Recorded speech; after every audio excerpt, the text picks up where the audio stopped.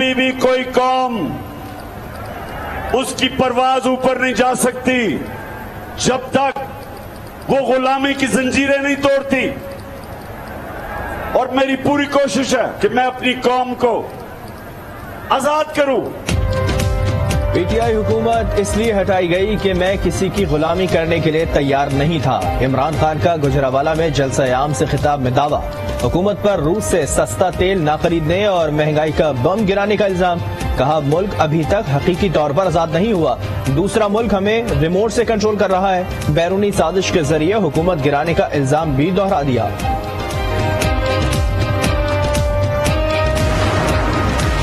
Dollar की किल्लत, फ़सलों की तबाही और महँगाई का तूफ़ान, कौम का है इम्तहान।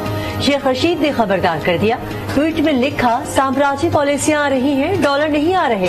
डॉलर के जखायर अब भी मनफी हैं। ये गरीब मुकाम पॉलिसी लाए हैं, इमदाद नहीं, सिर्फ़ हुक्मनामे आ रही हैं।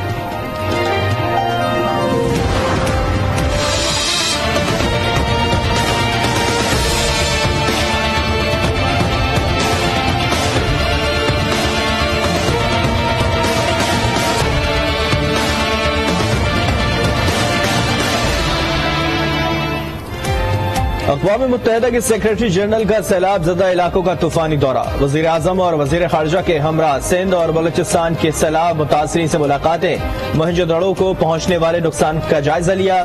कराची में मीडिया से बातचीत में कहा, जो कुछ देखा, इसे बयान नहीं किया जा सकता। लाखों लोग बेघर हुए, फ़सलें तबाह और जानवर बह गए। पाकिस्तान की फौरी मदद पर ज़ोर, माहौलियाती तब्दीलियों के जिम्मेदार ममालिक से आगे बढ़कर बहाली में हाथ बटाने का मुतालबा।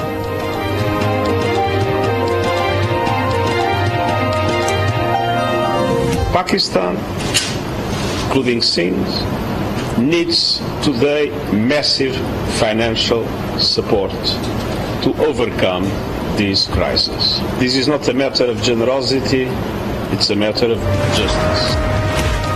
दौरे पाकिस्तान पर वजीर खारजा का एंटोनियो गोतरेस से इजहार तशक्र बिलावल भुट्टो का कहना है कि सैलाब से पाकिस्तानी अवाम बुरी तरह मुतासर हुए यूएन सेक्रेटरी जनरल से माहौलियाती तब्दीली पर बातचीत हुई मुश्किल घड़ी में बैन अवी बरदरी से इमदाद की अपील भी कर दी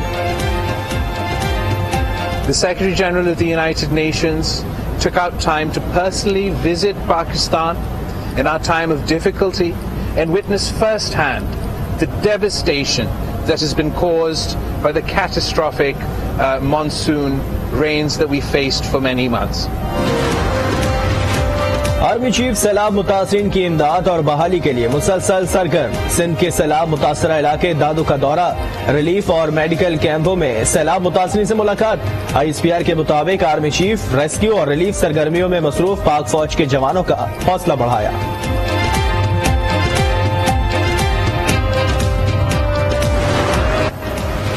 चीन पाकिस्तान के सैलाब जदगान की भरपूर मदद करेगा। मुश्किल घड़ी में पाकिस्तानी भाइयों के साथ खड़े हैं। कराची में तैनात चीनी कौंसल जनरल का गवादर में तकरीब से खिताब, छह करोड़ रुपए के एहतियात जमा।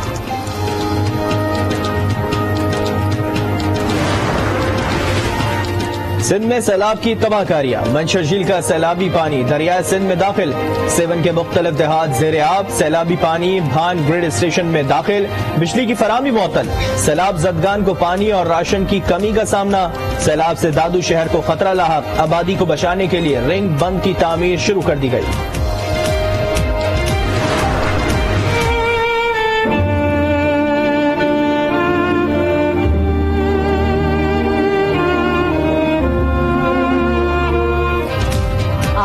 बना सैलाब मुतासरीन की आवाज़, सैलाब मुतासर इलाकों से खसूसी कवरेज। बदीन के सैलाब मुतासरीन की मुश्किल कम न हो सकी। पगड़ियों में मुताद गाँव और देहात जेर आप फाराह ने शिगाफ पड़ने के बाद सैलाब रेल आबादी की जानब बढ़ने लगा। इमदादी कामों में सुस्त रवि पर मुतासरीन परेशान। रिलीफ कैंपों में नाकाफी सहूलियात का शिकवा। ऐलान करते हैं तो भाई अपने अपने खेमे में चले जाओ। हम बांटेंगे, हम सावा आ जाते हैं बैठने के लिए। पर बैठे हुए दो घंटे तीन घंटे हम बैठे हुए वो सामान पता नहीं कहाँ चले जाते हैं। नहीं पंखा है नहीं कुछ एक टेंट लगा हुआ तो लाजमी अंदर तुम चल के आधा कलाक तो बैठो जान जा रही है। एक टाइम रोटी है ये सूखी आती है ये बच्चे खाएँगे रोटी। ये शहर की रोटी पकी हुई बच्चे तो नहीं खा सकते। सैलाब के बायस रेलवे ट्रैक जेर आब ट्रेनों की आमदोरफ्त मअतल होने की वजह से रेलवे स्टेशनों पर वीरानियों के डेरे। खानेवाल के रेलवे स्टेशन पर स्टॉल मालिकान और कुलियों के घरों में फाकों की नौबत आ गई। बहुत महँगाई है। बंदे परेशान है ट्रेनें चल नहीं रही ठेकेदारों को भी नुकसान है रेल को भी नुकसान है। वेंडर यहाँ पे काम करने वाले हैं वो बड़े परेशान और बेरोजगार और के सैलाब की वजह से जो ट्रेनें बंद है वो बहाल की जाए। वज़ीर खजाना मिफ्ता इस्माइल ने आई एम एफ़ प्रोग्राम को नागुजीर करार दे दिया। लाहौर में ताजी बरादरी से खिताब ने कहा हुकूमत संभालने से पहले इल्म था आलमी मालियाती फंड के पास जाना पड़ेगा। पाकिस्तानी मीशत को मुश्किल सूरत हाल का सामना है। फर्नेस ऑयल और कोयले की कीमतों में रिकॉर्ड इजाफे को महँगी बिजली की वजह करार दे दिया।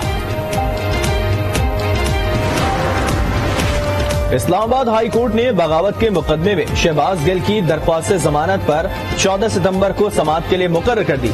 चीफ जस्टिस शहबाज गिल की जमानत की दरख्वास्त पर समाप्त करेंगे। कराची के इलाके औरंगी टाउन को सफ़र की जदीद सहूलत मैसर आ गई वज़ीर तिला ने ऑरेंज लाइन बस सर्विस का इफ्तः कर दिया। शर्जील मेमन कहते हैं ऑरेंज लाइन कराची के अवाम के लिए सिंध हुकूमत का तोहफा है औरंगी से बोर्ड ऑफ़िस तक हज़ारों अफराद फ़ायदा उठा सकेंगे। शहर कायद में जल्द ट्रांसपोर्ट का नया मनसूबा शुरू करने का भी ऐलान। कराची में स्ट्रीट क्राइम्स में इजाफा हो रहा है। आवाम को तहफ़ फराहम करना पुलिस और रेंजर्स की ज़िम्मेदारी है। मामला दुरुस्त ना हुए तो सड़कों पर निकलूँगा। हाफिज नईम रहमान की वार्निंग कराची का कोई वाली बारिश नहीं। छीना झपटी की वारदातों में इजाफा हो रहा है। कराची को दीवार से ना लगाएँ। मुस्तफ़ा कमाल के बाद इख्तियार की निचली सतह तक मुंतकली को मसाइल का हल करार दे दिया।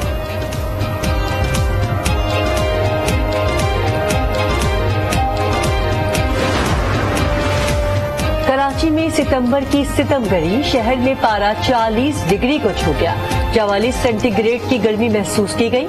शदीद गर्मी के बाद शहर कायद में चंद एक मकाम पर बारिश रिकॉर्ड। महकमा मौसमियात ने आइंदा तीन दिनों तक गर्मी की शिद्दत बरकरार रहने की पेश गोई कर दी। में डेंगी, मच्छर के जहरीले डंग से अवाम तंग। इस्लामाबाद और रावलपिंडी में मजीद 135 केसेस रिपोर्ट। कराची में 24 घंटों के दौरान 108 अफराद डेंगी में मुबतला। खैबर पख्तनख्वा में डेंगू के 75 केसेस रिपोर्ट हुए।